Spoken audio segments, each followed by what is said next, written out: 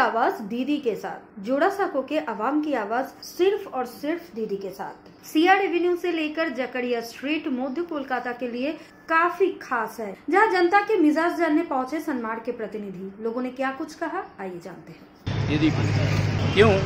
कि वो शांति रखता है वो फसाद नहीं करता है। इधर में तो हम लोग के वार्ड में तो सबसे लास्ट में आठवां चरण में इलेक्शन है। तब तक देखिए क्या होता है। हर जगह खबर मिलने के बाद। यहाँ से चला उसी का सीट है इसलिए इसमें जो है ना तिरासी परसेंट जो है ना फोर्टी फोर और फोर्टी थ्री में मुस्लिम वोटर है।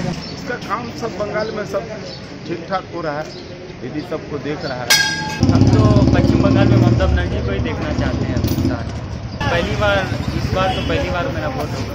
क्योंकि इनका काम बहुत अच्छा है। दस साल में मैंने देखा है बहुत कुछ। लोगों के प्रति बहुत सारे प्यार और मोहब्बत भरे में। बातों से ऐसा भी लगता है कि काम भी अच्छा हो रहा है पश्चिम बंगाल में। तो इसीलिए मुझे लगता है कि पश्चिम बंगाल को ममता बनर्जी को वोट देना चाहिए। दीदी को? दीदी अच्छा काम करती है। अच्छा काम कर रहे हैं वो अच्छा देख रेख कर रहे हैं लोग के साथ में ये नहीं है। ममता दीदी को? विकास कर रहे हैं और क्या? है कलकत्ता के लिए अच्छा ही कर रहे हैं अभी जो कुछ कर रहे हैं लोग। आप पहला आई हैं दीदी। हम लोग से बात करने के लिए। नहीं तो कोई भी नहीं आता है। हम लोग को भी फरियाद कहाँ, किससे करें?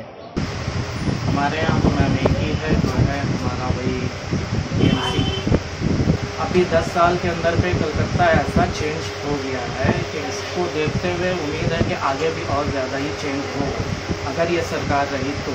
वोट हम लोग को डालना है, कोई पार्टी को डाल देना, बस हो गया। ये वोट का हकदार है, ये वोट डाल सकते किस पर भरोसा करिएगा?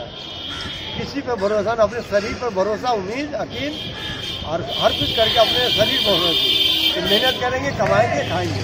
सरकार में हम लोग ममता देश शांति है, कोई लफड़ा नहीं है।